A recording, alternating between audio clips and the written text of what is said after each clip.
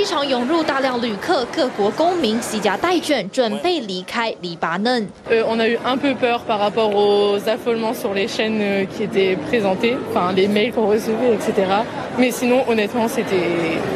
Assez safe. Enfin, franchement, si on n'allait pas dans les endroits qui n'étaient pas recommandés par l'ambassade, on recevait des mails de l'ambassade, et, etc.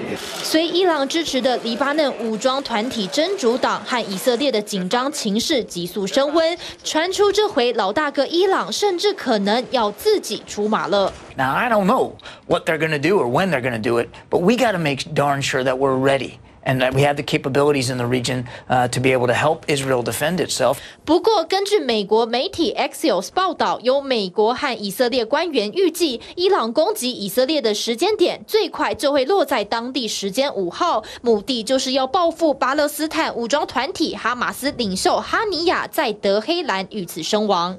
אנחנו מכים בעוצמה בכל אחת מזרועותיו. אנחנו ערוכים לכל תרחיש, הן בהגנה והן בהתקפה. אנחנו ערוכים חזק מאוד בהגנה, ביבשה ובאוויר, ואנחנו מוכנים לעבור במהירות להתקפה 以色列已经开始为伊朗发动重大报复行动做准备。美国方面，美军司令库里甚至也抵达中东，战火一触即发。纽约州一名州议员更在社群上透露，华府的披萨指数异常增加，暗示美国政府机构的工作量大幅提升，暗指可能即将有大事发生。TBS 新闻综合报道，TBS 大运动家跟运动迷一起竞技的电行，马上下载，跟中华队一起 all in